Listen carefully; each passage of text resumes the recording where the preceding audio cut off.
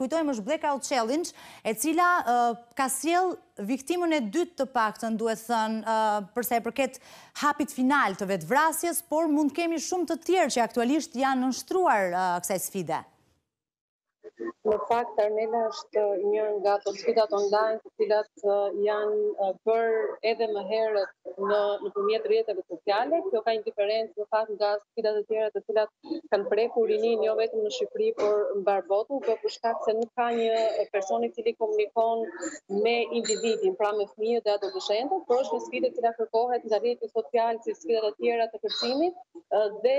që të çon deri në fatalitet pasi kërkon kështu kjo sfidë e njohur ndryshe si Blackout Challenge, në fakt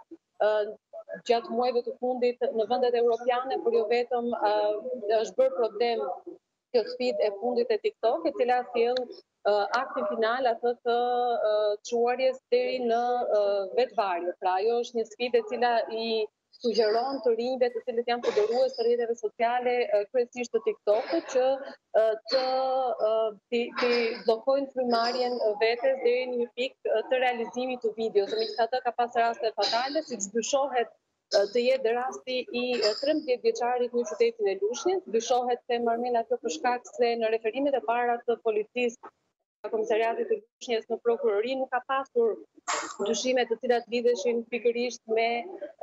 shkak me faktin se i riu ka qenë në ato momente duke përdorur rrjetin social të TikTok dhe duke kryer këtë këtë sfidë le të themi, por më vonë nga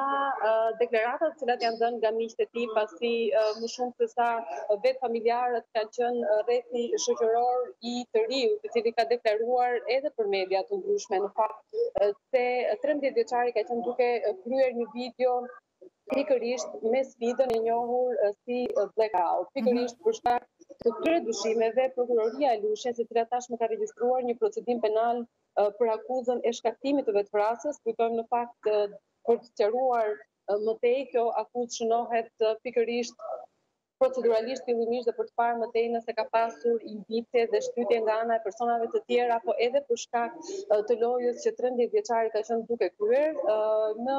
aktin e tij final pra të vetëvrasjes. Janë një sërë dëshmish të cilat janë marrë nga ana e grupit hetimor dëshmi të familjarëve të cilët kanë treguar se në fakt i riu nuk ka pasur ndonjë shqetësim, megjithatë pranojnë se ka qenë një përdorues